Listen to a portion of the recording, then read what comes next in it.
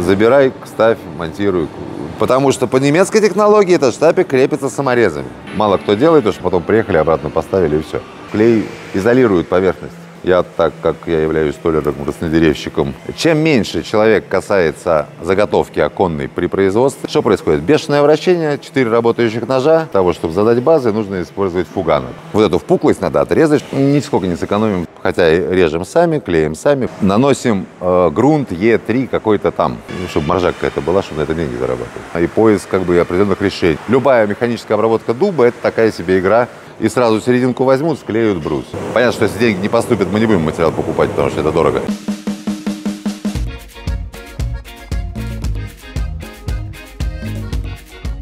Друзья, добрый день. Я Андрей Артемов.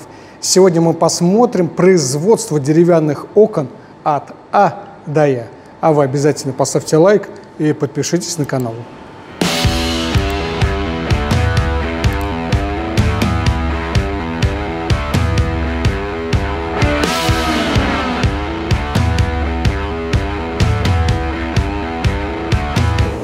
Значит, отсюда, в принципе, начинается наше производство.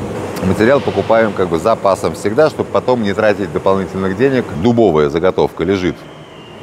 Вот эта вся заготовка лежит на серединку, коротье, да, про который я говорил, который дешевый сегмент этого бруса. И, в принципе, середину можно клеить бесконечно. Вот наклеили, положили пачечку, потому что будет скоро дубовый заказ, и сразу серединку возьмут, склеют брус. Прежде чем склеить, мы его сначала распускаем на штранге, то есть в тот размер, который надо. Условно говоря, используем э, стандартное сечение окна у нас будет 78 на 80, значит, первый раз мы пилим на 90 миллиметров. Там есть она и 110, к примеру, э, на арке и на импоста. Сначала распускается, после этого в соседнем цеху вскрывается, прострагивается.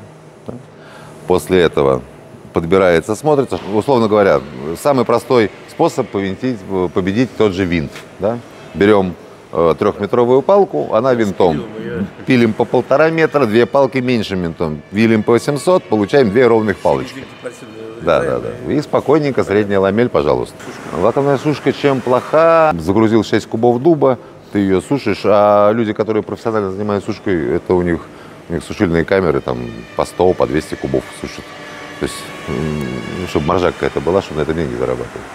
Для себя, да, можно поставить маленькую камеру и потихонечку там этот дуб подсушивать там периодически, но для этого нужна своя пилорама, пилорама в городе, электричество, стоимость аренды и прочие вещи налагают то, что эта пилорама ни разу не выгодная.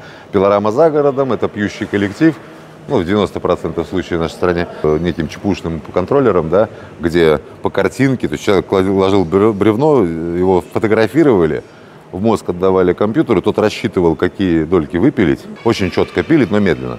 Дуб поступает в виде неких пачек, да, которые пилятся, сортируются. Что-то идет на середину, что-то идет на лицевые ламели. Все это выкладывается пачками э, в разных пропорциях. Сосна, лиственница и прочие товарищи. И четко было написано, что для изготовления окон из дерева недопустимо сплав древесины при помощи рек. Именно из-за того, чтобы бактериальное заражение. Хотя режем сами, клеим сами, больше двух с половиной метра, мы пишем всегда, что э, есть одна сростка. Хотя стараемся вообще его не сращивать, потому что клеим сами, в принципе, у нас с вами э, спокойно там те же 6 метров может клеить. И, ну, попробуй найди. Красивая, замечательная, приезжает в 6-метровых палках и, соответственно, имеет сростки по всем трем ламелям. А когда мне, условно, в 6-метровой палке э, две палки по 3 метра вклеены, ну, какой это уже третья категория, где форма устойчивости, откуда она берется? Следующую часть, где есть техническое задание, прям самый лучший станок нашего производства, он какого-то, я все время забываю, года, очень старый. А, при этом он совмещен с автоматическим измерением длины, да, то есть сам мотор и ну, пильный диск новый, да, а сам станок прям классный, здоровский, немецкий, кстати. Здесь производится по... То есть людям выдается задание, и по заданиям напилка. Да, то есть человеку понятно, что это створка коробка, и размеры предварительные с припусками. Берет третью категорию, спускает сюда, либо уже привозит на телеге первую, и ее То есть станку нужны, торцевому станку нужен припуск 40 миллиметров, поэтому он здесь его пилит запасом, да, чтобы потом это отпилить уже в чистовую и зашиповаться.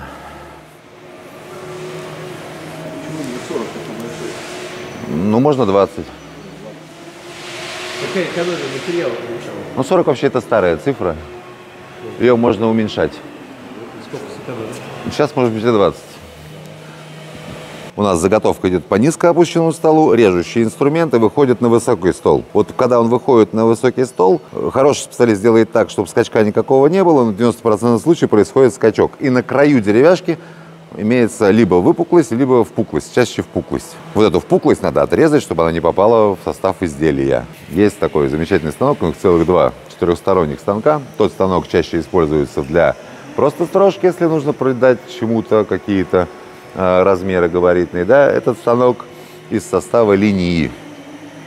То есть раньше это был один большой комплекс, объединенный в одну линию. То есть здесь запустилась палочка, сюда вышла, там вышла, и это все был один такой большой круг. Мы разбили, потому что так быстрее. Четырехсторонний станок что делает? Он заготовки позволяет из криволинейной заготовки да, сделать прямоугольник с четырьмя углами по 90 градусов. Его задача такая основная. Базовые стороны выстрагиваются нудно, пока ровненько все не будет, да. Потом да, да, да, все это померил, и потом через рейсмус, тогда это будет четко, ровненько. Четырехсторонний станок максимально старается сделать э, прямолинейную заготовку, как продольно, так и с углами. Дальше стоит э, станок под названием гидромат. Интересное изобретение немцев. У него работают всего две головы, верхняя и нижняя. У него гидропосадка на валу э, и система джонтеров. Это специальный камушек, который позволяет затупить ножи. За счет гидропосадки голова каждый раз встает в равновесное положение, ну, в одно и то же практически, да. Чем меньше человек касается заготовки оконной при производстве любого изделия, что там, заготовки-то мебельные, чем меньше человек ее перекладывает, либо трогает, тем меньше на ней дефектов. После того, как мы прострогали на гидромате значит, две этих поверхности, могу сейчас принести палочку. То есть, кому интересно, можете посмотреть. Вот эта часть строгана четырехсторонником, а вот эта часть строгана гидроматом. То есть тактильно, даже вот просто рукой чувствуется, что вот эта поверхность, она ну, значи, значительно глаже, э, чем вот эта.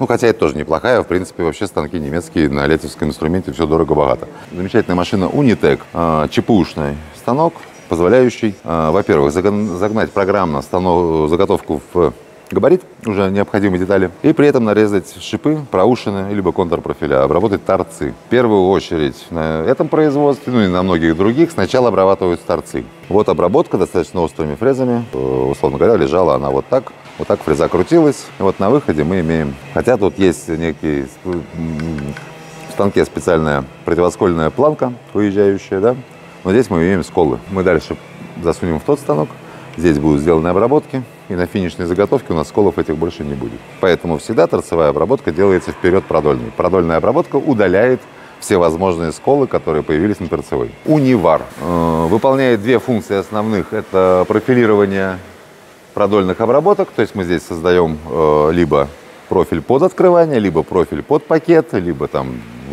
под открывание в дерево алюминиевом окне системно. И вторая его задача, конкретно сейчас вот он под него и стоит, это обгонка створок. Теоретически есть две технологии по обгонке створок. Первая – это когда большой чепушный центр, как был у нас тогда, он сразу же э, заготовку на вайму отдает уже обогнанной створкой, то есть на каждый попалочно обгоняет. На вайме собирают, все сходится, четенько, это все настроено, все хорошо смотрится.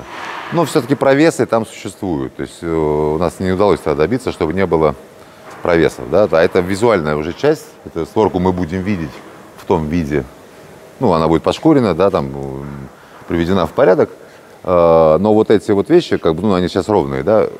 Когда окно намокает, обычно вот эта часть выпирает, и первый э, маячок о том, что э, на, с окном не все хорошо, это как раз выпирающая вот эта часть. А на чепушном станке, который будет делать сразу заранее, вот эта часть, она может либо выпирать, либо заподлить, ну, как бы уходить в обратную часть еще до того, как окно успело намокнуть, поэтому под нему очень сложно судить. Способ, когда клеится сначала створка, э, клеится, да, а потом обгоняется всем контуром, мне нравится больше. Но есть один большой минус, это сколы. Замечательный итальянский станочек позволяет вообще любые нестандартные обработки делать. Есть две замечательных вайна тоже. Одна не прижилась почему-то, как-то она, хотя и умная, сама подъезжает, все хорошо, но что-то вот с ней не получается работать. Наша старая вайма отлично работает, то есть на, поближе подойти, там можно по поводу вопроса, который был наверху задан, по поводу шипов, склейки и прочего ответить. Значит, есть у нас шипы и проушины. И здесь лежит главный ответ, почему мы не можем делать, к примеру, 38-й пакет стандартного немца. Часто задаваемый вопрос. Вот эта вот часть, внутренняя створка, это будущая створка. Ну, условно, она может быть и коробкой. Нет, створка вроде. Вот. Вот эта вот часть 20 миллиметров. Здесь влезает 34 пакет и потом штапик. Для того, чтобы э, поставить сюда 38 пакет, мне на 4 мм нужно уменьшить штапик. Конкретно штапик в этой системе, если уменьшить на 4 мм, он перестает работать. У него есть замочная часть, которая защелкивается. И я его могу поменять там плюс-минус миллиметр два, но 4 уже не могу. Любые изменения, которые я вношу вот в эту обработку внутреннюю, я должен внести в шиповую группу. Цена вопроса, если покупать новый инструмент, 300 тысяч условно продольная обработка, 300 тысяч шип, 300 тысяч проушина. Три паза неких здесь, да, мы получили увеличение площади склейки, ну, можно посчитать, да, на, на. Делается именно для того, чтобы увеличивать площадь склеиваемой поверхности. Есть э, способ крепления, то есть э, важно, как бы на створках стараемся всегда делать шипы проушины даже на арочных элементах. Навострились, придумали как. Раньше соединяли всегда на, на контрпрофиль. Но сейчас придумали, потому что шиповое соединение держит гораздо лучше. И если они в этом месте передавят, они начнут выгибать. То есть здесь он упрется, а здесь он начнет подгибаться. А там ему нижний шип давать выгибаться не будет. Удерживает ту форму, которую ему Вайма задала. То есть насколько оно э, хорошо держит, в принципе. Да? Здесь площадь сумасшедшая, поэтому как бы здесь допустимо не использовать никакие вещи, которые будут пробиваться. Да? Любые арочные окна да, провисают значительно быстрее, чем прямоугольные. Да? Стандартные окна следуют замечательно наваемо, пришли, склеились, коробки поехали на подготовку, створки поехали на предыдущий участок обгоняться. Обогнались, все встретилось в зоне э, подготовки. Клей наносится при помощи клейной наносящей машинки, он стоит а, внизу. То есть некий дозатор, как говорит где-то в нерусских местах, бак под тиском, в смысле под давлением. Да, и он дозированно позволяет, то есть при нажатии этой ручки клей поступает на ролик и равномерно наносим. То есть здесь какая вещь? Если это будет потом лак, лишний клей не даст э, пропитаться грунту. Клей изолирует поверхность и будут пятна. Много нанести нельзя, потому что он выступит. Мало нанести нельзя, мы не склеим. Поэтому, чтобы исключить человеческий фактор, есть наносящие машинки, пусть вручную, но он дозированно наносит. То есть кисточкой нанести так, как им сложно. Собирает вайму, как ему понравилось, вот отсюда или вот отсюда. То есть здесь технология следующая. Он наносит на одну и на вторую часть клей таким образом, чтобы при сдавливании клей попал во все полости, которые необходимы. Да, для этого специально обученный немец приезжал, и всем этим ребятам как бы он прямо очень... Э, очень грамотный специалист. Да, вообще на любом, то есть это завод. Может делать очень разные классные вещи, помогает нам э, в изготовлении арок, э, изготовлении нестандартных дверей, если нет, то если вы, условно говоря, вот придете, вы скажете, что нужно вот такое окошко, а к нему еще 200 тысяч окон, все изделия хранится плюс э, температура плюс 22 градуса, относительная влажность там 65-75%. Но основ, ну, стойкость материала, да, она проявляется только через месяц. Я не знаю, то ли из-за того, что она арочная, то есть ребята постарались, то есть вот такая гладкость поверхности. Мы окна здесь вот выстояли какое-то время, здесь же на них установили уплотнители. Используем два вида уплотнителей, шлегель и дивентор. Либо дивентор и дивентор. Чем отличаются? Шлегель имеет в своем составе внутреннее пористое заполнение, да, которое по заявителям товарищей э, Шлегеля да, э, лучше звукоизолирует, ну, как бы работает лучше. Этот э, контур, это внутренний, в помещении ставится, да. В случае, если открывается дверь наружу, мы сразу автоматически шлегель не ставим, ставим дивентор. Есть такой же его брат, товарищ по всем своим размерам, да, но он резиновый целиком, у него нету. Почему? Потому что гидроскопичность вот этой вот пористого заполнения, она очень велика, и, соответственно, его отрывает вместе с, ну, он выламывает прямо его из пальца. Соответственно, резиновый там работает лучше. Максимум, что можно сделать, это прилипнуть, если что-то было не так, двери не до конца закрыли, а, теплый воздух выходил, то есть чаще всего от резинового можем ожидать того, что он прилипнет к коробке и оторвется, как, ну, его потом приехали, обратно поставили и все. Установили два контура уплотнения. Если это деревянный, э, деревянная входная дверь, то это будет такой же дивентор резиновый, там на двух контурах. Один контур в коробку, один контур в створку. И пошли дальше. Мало кто делает, потому что пакеты стоят как чугунный мост. Основная стоимость даже не в деревяшке, а именно то, что эмалированный пакет дорогой. Они всегда бывают только однокамерными и до определенных радиусов гнутся. Но в итоге будет очень красиво. Фурнитуру не будем отвлекать, там человек работает, поэтому туда близко не пойдем. На окнах используем всегда фурнитуру фирмы Рота. Почему фурнитура Рота? Потому что до сих пор Рота это единственная компания, которая выпускает э, и обычную фурнитуру, и скрытую фурнитуру под 20 фальц. Это место установки ответки. Сейчас я на чем-нибудь покажу. Условно говоря, все цапы в окне запираются на ответке. То есть вот опора, да, и обычная стандартная ответка. 20 э, это вот эта ширина ее. 20 миллиметров. Так системно у нас звучит 29, 9 это ось расположения гитрибы в створке, 20 миллиметров это углубление именно ответки. В нормальное время стеклим вертикально. Зачем вертикально? Чтобы максимально стабилизировать пакет внутри окна. Здесь будет верх, здесь будет петля, скрытые петли, да. Значит, от этой петли Ребята поставят здесь два спейсера и два спейсера там. Растянут ее от нижней петли в верхний угол. Стеклопакеты держатся в этом случае дерево-алюминии. Сборка сухая. То есть все фирмы пишут рекламный слоган, что легкая замена пакетом, но я посмотрел, что на самом деле какая она легкая. Здесь нужно открепить. То есть клипсы ставятся шагом 250 миллиметров, ну где-то в среднем. То есть отступ 80 от угла и 250 шагом. То здесь будет сколько? Ну, порядка 20 клипс, да? 20 клипс все повернуть ключом, залез, э, залезть. То есть сначала удалить резинку, залезть туда ключом, открутить, и все это нависять. Ну, такая вся история. Обычный деревянный крепится при помощи штапика. У нас есть штапик, у которого есть некий пазик под уплотнитель, под силикон специально выбранный. Есть замок, про который я говорил, вот с задней стороны. Он устанавливается втроем таким образом, что когда вот его устанавливаем, за счет этого замка последний угол всегда защелкивается. И штапик, в принципе, держится вправе, даже не пристреленный. Пистолет его забивает таким образом, что у нас шляпки, после того, как мы наложим силикон, силикон у нас полупрозрачный, то есть важно pH-нейтральный и полупрозрачный силикон. pH э, нейтральный для того, чтобы не реагировать, как бы вступать в реакцию с краской и фурнитурой. Гвоздики прострелили, сверху с силиконом прошли. Уже, к сожалению, они его пришпандорили. Э, условно говоря, пакет встает э, в вот в эту плоскость, как я наверху показывал, да, в плоскость рамы. Нет никаких специальных углублений. Здесь углубление формирует алюминий. Здесь другая резинка используется, если по бокам ее нету, она только внизу для водоотвода. Значит, устанавливается спейсер, и мы получаем, что пакет как бы выезжает в эту сторону. Значит, вся технология изначально немецкая подразумевала сюда сразу установку вот такого массивного штапика. Сделали первый заказ, нам его одели почти на уши. Ну, в смысле, на голову. Потому что по немецкой технологии этот штапик крепится саморезами.